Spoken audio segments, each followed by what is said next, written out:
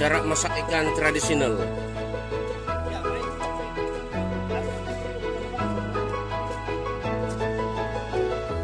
Oh guys. Siapa ya, siapa ya?